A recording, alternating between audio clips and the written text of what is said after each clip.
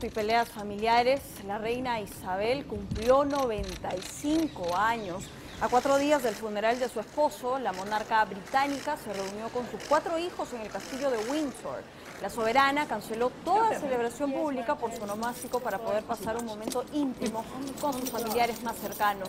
Este ha sido catalogado como el aniversario más triste de la reina, ya que por primera vez en 70 años estará sin el príncipe Felipe.